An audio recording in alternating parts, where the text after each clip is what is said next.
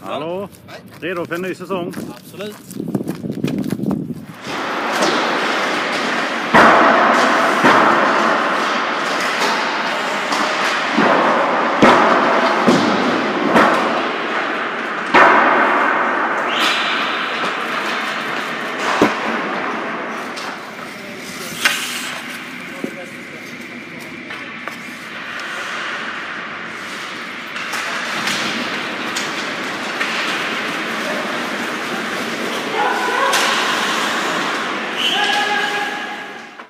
Pelle Svensson, dagens första isträning och säsongens. Eh, Hur känns det att vara igång?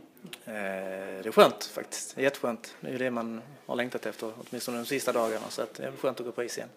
Och det var full fart direkt. Eh, vet jag väl inte, men eh, det är i alla fall ambitionen till att ha full fart. Men eh, hoppas att farten kommer om några dagar. Var alla på plats eller? Vi fattas eh, Nisse, Mattias Nilsson, som precis har blivit pappa. Får gratulera till honom. Eh, och sen fattas vi Matt som kommer eh, nästa måndag. Kommer. Det är lite spartanskt i i början i och med att eh, hallen inte är redo. Hur, hur ser du ja, på det stök som är? Nej, men stök är det. Det har vi ju förväntat oss nästan och, och det är bara att gilla läget och, och, och lösa det. Eh, hur den är vi Isen ser likadan ut så att när du väl kommer ut så får du vara fullt fokuserad på det. Sen allt som händer runt om får man bara precis ta och klara av och, och gå vidare. Man ska väl kanske inte dra några större växlar på dagens isträning men eh, TT såg ju väldigt het ut.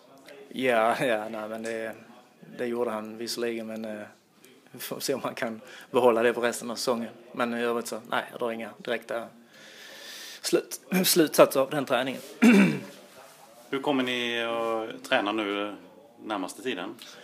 Vi tränar denna veckan, eh, sen håller vi lördag, söndag och, och vilar höfter och ljumskar. Sen så är det dubbelpass dagar och dagarna nästa vecka och, och fullt sprut eh, ganska direkt så att det är väl okej.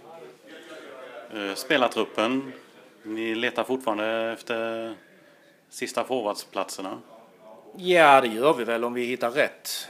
Samtidigt så har vi 12 forward nu i truppen så att det skulle vara om vi känner att nej, men här, här, här vill vi köra och då gör vi det. Men eh, som det är nu så har vi 12 forward så hittar vi inte rätt så väntar vi. Hur kul var det idag? Ja, på en skala ganska högt. Då önskar vi lycka till i fortsättningen. Tack för det.